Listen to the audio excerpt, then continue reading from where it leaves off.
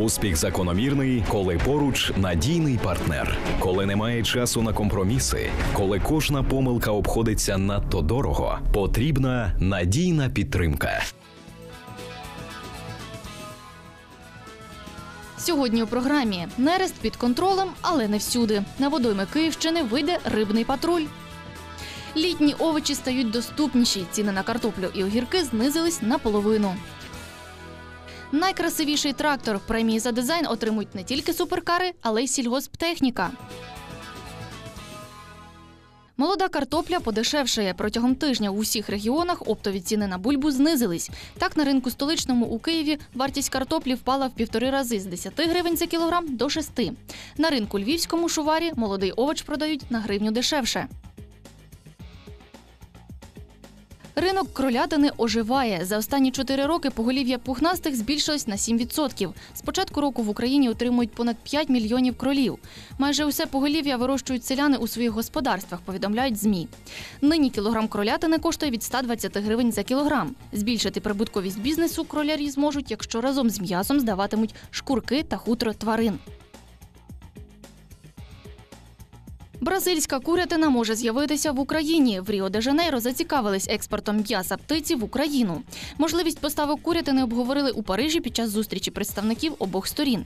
В Мінагрополітики повідомили, наразі 118 бразильських підприємств, які мають право експорту м'яса до ЄС, можуть зайти і на вітчизняний ринок. Зараз між компетентними органами обох країн опрацьовується питання погодження ветеринарних сертифікатів.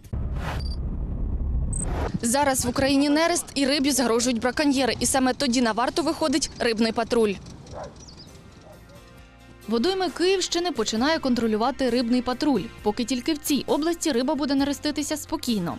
Але в Держрибагентстві сподіваються, що реформа незабаром охопить усю водну частину країни. В Украине 73 тысячи рек, 400 тысяч прудов, 1100 водохранилищ, два моря.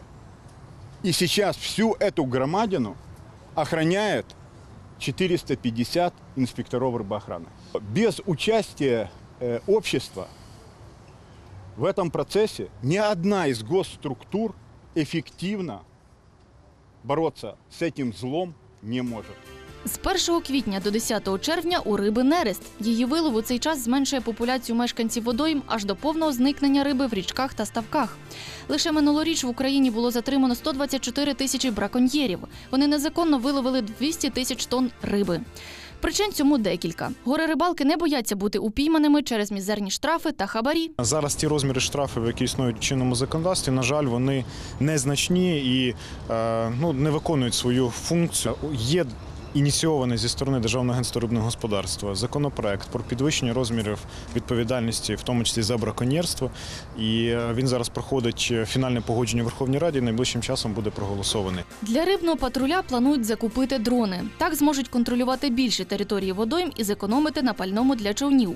А ще вони майже непомітні для рибних злочинців.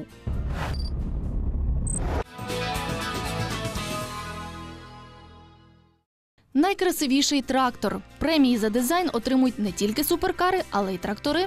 Найбільш гармонійний дизайн у сегменті високопотужного обладнання за визнанням фахівців отримав трактор Агротрон. Звання трактор року одне з найпрестижніших у сільському господарстві.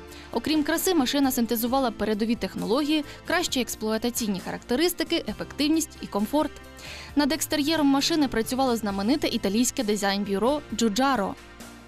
Сільське господарство це важка праця. Тут кожна деталь має значення. Будьте сильними, будьте скун.